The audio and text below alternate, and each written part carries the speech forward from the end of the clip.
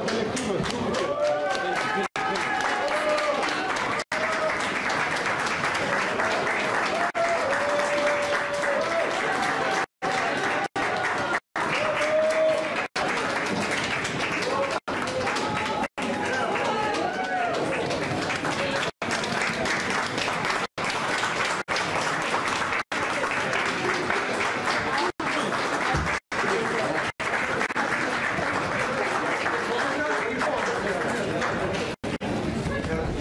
ponai ir ponios, laba diena, sveiki gyvi visi. Palaukit truputį. Oi, taip, taip. taip. Jo- Jauskitės kaip namie.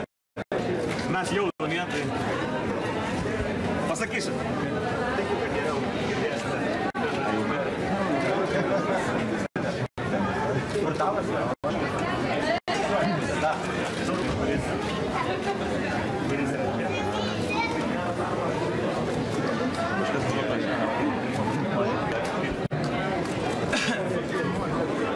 Pavargsit? Ne? Gerai.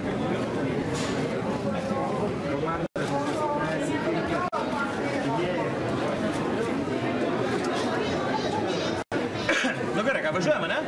Gerai. Gerai, tai lab, labai, labai diena visiems. E, Nesijaučiame iš esmės atlikę kažko tokio e, labai didelio, kad tiek daug jūsų susirinktų.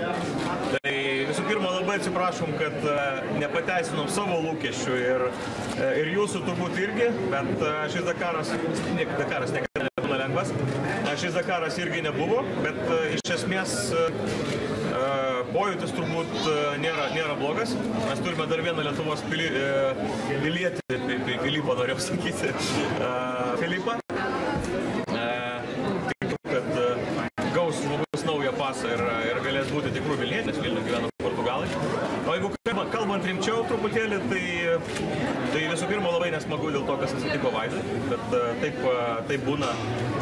Toks yra sportas ir tu turi atvažiuoti visus, visus įmanomus kilometrus. E, Šiaip, kalbant apie Dakarą, tai mm, mums jisai buvo turbūt ramiausias iš visų įmanomų. Gali būti, kad per aštuonis metus gal atsirado kažkokia branda truputį tiek komandoje, tiek pas mane galvoje ir, ir mums atrodė, kad pakankamai aiškiai viską darom. Tris valandas, kurias praradom, jos aišku atėmė šansą jau ir teorinį kovoti dėl, dėl aukštesnių pozicijų. Bet nežiūrint dienos pabaigoje, galvoju, kad gyvenimo prasme ta 15 vieta gal ir nėra labai blogai. A, o šiaip minčių labai daug. A, truputį minčių buvo vakar, dabar kelionė nuo vakar vakaro, nuo podiumo iki dabar, tai pas mus čia visą laiką Lietuvai, Riadas, Stambulas, a, dabar Vilnius. Tai tokių pamastymų iš esmės buvo pakankamai ne, ne, nemažai ir nu, nusimato iš esmės tik dar daugiau darbo įvairaus ir, a, ir tiek žinių. Tai nežinau, ką daugiau čia galima būtų papasakoti, kažkaip mano žodžiai pasibaigė. Saudo Arabijoje buvo geriau negu Pietų Amerikoje? Šis Dakaras tikrai buvo kitoks. E, Ir e, man labai sunku vertinti, nu, kai kažkas pasikeičia gyvenime, tai tie pirmieji pokyčiai yra įdomus. Ar aš taip antrą kartą jau labai labai norėčiau taip pat daryti, tai gal ne. Bet, e, bet aš suprantu, kad organizatoriai jie irgi greičiausiai neparodo, neišmeta visų kozerių, neparodo visų savo geriausių užmanimų. Tai manau, kad e, kitais metais jisai tikrai turėtų uh, iš to kitoniškumo įgauti dar ir tų tikrųjų Dakaro bruožų. Nes šiais metais ko pritruko visiems turbūt, tai kopų. Pas metu tokių tikrai sudėtingų kopų, kurios būtų. Tai smėlio buvo nemažai, akmenų buvo dar daugiau. E, žinau, kad vien Toyota komanda, visa komanda pramušė virš šimtą ratų per, per vienas lenktynės. Man toks įdomus faktas. Vakar su inžinieriais jų kalbėjom, aišku, automobilių turi nemažai, bet e, tai, tai buvo tikrai padangų žudikas. Kažkaip tai. Ar yra kažkas, ką jūs pats kitais metais darysite?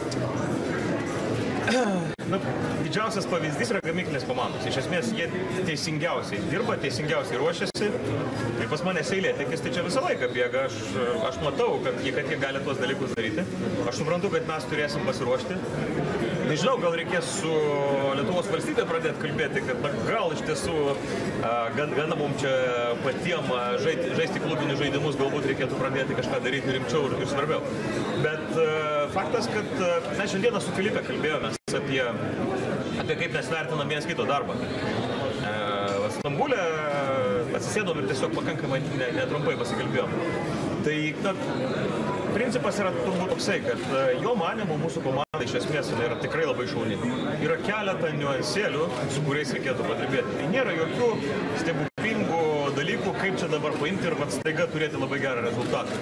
Reikia šlifuoti labai daug smulkmenų, smulkmenėlių, į viską kreipti dėmesį ir kad nebūtų taip, kur šarnyras, kuris nelūšta mūsų lūžta. Ir vat dar iki šiol nežinom kodėl. Aišku, aiškinsimės, bet, bet dabar yra kaip yra. Dėl bendradarbiavimo su Filipe, ar tęsit jį, ar visgi Sebastianas? Žinokit, nieko naujo turbūt nėra palyginus nuo, nuo lenktynių pradžios. Filipė buvo šių metų projektas, brangus mums projektas, bet e, aš manau, kad mes kaip komanda investicinė prasme tikrai labai daug išmokom, labai daug sužinojom.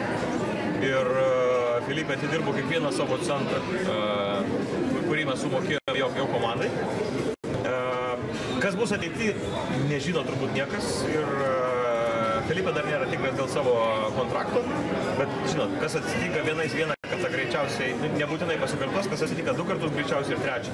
Bus ir trečią. Tai Filipe jau 12 metų yra, yra, yra tos komandos šturmanas, tai, tai pasižiūrėsim. Bet aš manau, kad mes ir jo galėsime užduoti klausimus ir jis turbūt atsakys. Turint galvoje, kad e, šiaip kalbant apie Dakarą, bendrai paėmus, tai, tai paskutiniai du mėnesiai buvo tikrai košmaras ir tokio, toks, kurio mes nesitikėjom. Tai pagrindinio partnerio praradimas ir, ir, ir ačiū, kad atsirado Inbankas, ar ne? A, tuomet a, Sebastiano lyga, tai tokie, nu, vis kažkas bandė išmušinėti žemę iš po kojų. A, Ir tada Filipė, geroji dalis, kad, na, visgi esu pusėtinas vairuotojas, o Filipė yra tikrai labai geras šturmanas. Tai, na, kada žmonės žinantis, ką daro, atsisėda bendrai, tai, na, jiem belieka dirbti.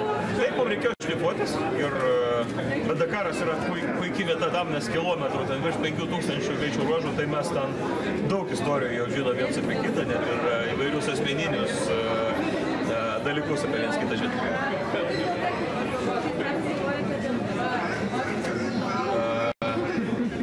E, Prastas karys, kuris nenori būti generolu. Ir kalbant apie techniką, mes jau dabar turime diskusijas, bet A, technika mums reikalinga nėra taip lengvai vienuma, bet panašu, kad e, valia iš, e, iš komandos užduota gazūrės iki yra. Klausimas, kaip bus su pinigais. O su pinigais yra striuka kaip niekas, žinokit. Tai, nu, mes bet kuriuo atveju tikrai padarysime viską, ką galim, o, o kaip viskas gausis, tai pamatysim. Ko galime tikėtis iš jūsų komandos iki kito Dakaro? Planai? Mūsų planas e, buvo būti pasaulio bakų taurė, ką mes darėme praėjusiais metais. E, Mums logistiškai nepavyko sudėlioti e, Rusijos, kuris yra artimiausias etapas ir tai yra vasario mėnesį. E, Mes patys esame atšaukę žiemos ralį, kuris turėjo būti kitą savaitgalį, mes esame organizatoriai e, šito renginio dėl to, kad žiema neatėjo ir čia dabar nelabai aišku, kada jinai ateis. Rusijoje etapas irgi dar neaišku, ar jisai bus.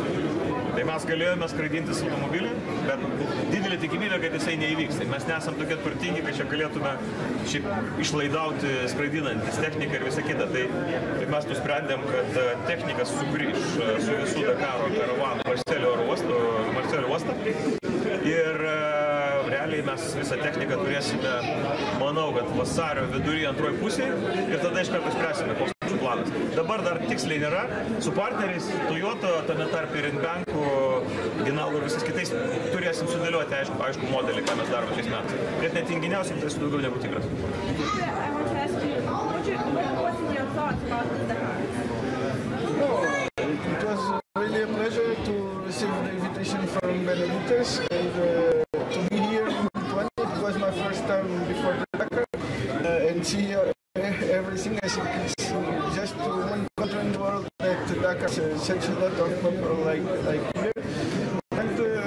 not easy Dakar. There is no easy Dakar. It's the first, uh, first thing.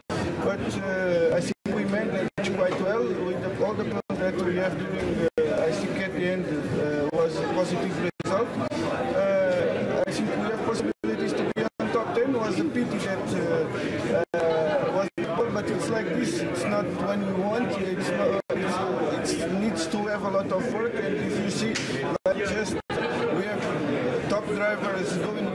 first time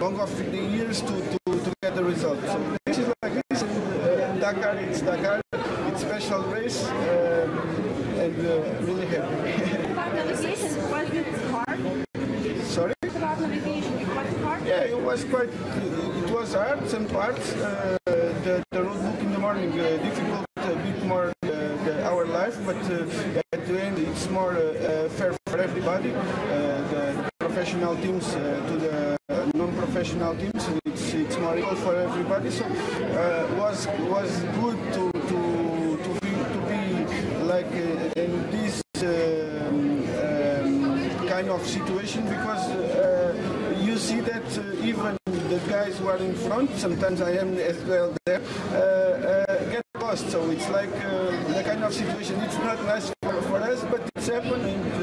If we don't have the work prepared in advance, we take that risk. So, but it's good. It's good to be. I can I can tell you one one more thing. He has one more name in his passport. He will have. It's Vinatu. You know, Vinatu Vinatu was Indian friend, and he is sneaking very well. So he finds a way. Really good. Do you have any thoughts of joining the Benedict as an official? Uh, let's see. Uh, it's uh, it's not just uh, my decision. It's like uh, needs to be a uh, uh, all together. uh, Joining everything, uh, all the decisions together. It's uh, my situation with X-Ray. Uh, I still have a contract with them. Uh, it's uh, if Benedictus uh, wants to to have me as a co-driver, this is uh, another thing. So let's see. Uh, I'm not sure of nothing right now. I need to go home to talk with uh, with. Uh, uh, in order to, to, to have decisions about this and then let's see, let's talk. After this experience, maybe you could describe what kind of driver Benedictus is. Is he disciplinary or a bit crazy? No, okay, I think he is a really good driver. Uh, and maybe there is one or two points that uh, he needs to control a, a bit more. We speak about that already. I think he was improving during the race. Uh, but it's like this. For be fast, sometimes you need to take risks. Uh, we need to evaluate if that risks uh, compensates the, the time that we lose or that we gain. So it's like a question of balance uh, of uh, uh, uh, during the race. But uh, I think I try to, to, to, to improve a bit. I think I don't know if I, I was able to do it, but uh, I, I, was really happy with uh, the last race. Yes. Felipe, Dakar is really popular. Yeah, are you surprised about this? And are you surprised? Yes, I'm surprised for. It's like uh, in Portugal we have a, a, a, a very the public is very passionate for motorsport, and I, I think I never see something like this. Uh, normally we have like uh, when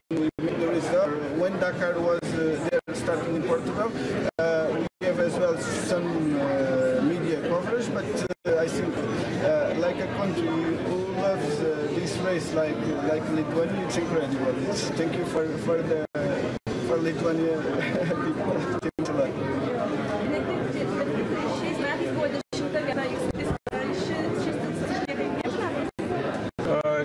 Tikslas išlieka natūralu, kad tikslas išlieka gerinti rezultatus, jeigu mes būsime tenai. Ne, čia, e, kaip pasakyti, suprantu, kad dabar su šituo status quo, kurį mes turime, nelabai yra, nu, yra tikslo važiuoti, bet mes suprantame, kad per metus laiko vėl viskas patobulės. Ir e, tokiu atveju, ta prasme, na, jau šiais metais gaudyti lyderius jau buvo gerokai sunkiau negu pernai metais ir tai matėsi net ir rezultate. Ta prasme, mūsų rezultatas prastėja, tai čia ne mūsų rezultatas prastėja, tiesiog mūsų techninis status quo du metus buvo tas pats, o lyderiai kiekvienais metais ir pagerėja, pagerėja, pagerėja. Tai, e, tai šitoj vietoje iš esmės žiūrėsiu. Bet aš tikrai matau ir tikrai žinau, kad mums atrodė, kad tas dešimtukas yra truputį lengviau pasiekiamas negu jisai yra iš tiesų. Nes šiam dakarė mums užteko vienos klaidos ir, ir iš esmės jisai išgaravo kaip dūmas. Mes buvom pradžioj padarę labai gerą darbą. Jeigu tu esi iki polisio dienos dešimtoje pozicijoje, tai paskui tau reikia būti ramiam, laikyti savo poziciją ir visi kiti atlieka darbą už tave, jie ten iškrenta, dar kažkas atsitinka, tavo situacija tik tai gerėja. Nes met tave, kad aplenktų, yra labai jau sudėtinga. Toks algoritmas, jisai tai atrodo labai keistas, bet jisai taip tikrai veikia. Bet, uh, matot, išlaikyti reikia irgi padaryti taip, kad tavo ta technika būtų nepriekaištinga visiškai visų lenktynių metu. Tai mes iš esmės jos nelaužėm ir nieko nedarėm, bet, uh, užtenka vieno karto. Ar jūs pasakyti, kad jei negausit naujos technikos ir abejonių, kad važiuosite į Dakar? A, Aš noriu pasakyti, kad e, aš nesilaikau įsikabinęs Dakaro kaip tokio, aš noriu būti naudingas. Ir jeigu aš matysiu, kad mes galim padaryti darbą, mes ten būsim. Jeigu aš matysiu, kad čia yra tik tai, na, kaip pasakyti, mano pačio asmeninis noras ir, e, ir, ir, ir mes negalėsime normaliai pasiruošti, nu, tai aš jau buvęs aštuonis kartus Dakare, žinau, kas tai yra. Ir, ir patikėkit, man labai gera čia stovėti ir dabar žinoti, kad aš kokių 11 mėnesių, okei, okay, turėsiu sunkaus darbo, bet man nereikės ten būti. Žinokit, nieko ten gero, aš jums pasakysiu. Nu, širdžiai taip. Geriau per televizorių žiūrėti ar internete stebėti Dakarą, tikrai gerokai patogiau. Ten darbas ir tokia truputį katurgėlė. Na, jeigu važiuotum pasivažinėti, galbūt būtų kitaip, bet e, kada turi siekti rezultato, tai turi galvoti apie viską, turi ilsėtis, ilsėtis nesigauna, nu, daug susikausių sprendimų ir taip toliau. Kas buvo sunkiausia šiame Dakare sunkiausia buvo laikas prieš Dakarą. Dakare mes finišavom ir iš esmės matom, kad okei, okay, pavargę, taip reikės išsimegoti, žiauriai nori dušą normalų, tokį, va, taip pastovėti ilgiau, ar ne? Bet, bet Dakare tai mes dar, darėm savo darbą, kontroliavom ir nebuvo, jisai niekada nėra lengvas, bet kad ten išliktum be pulsų ir jau nebebūtų, man atrodo, kad mes jau pa- pagaunam, kaip reikia gyventi Dakare, kad tu, kad tu išliktum gyvybingas.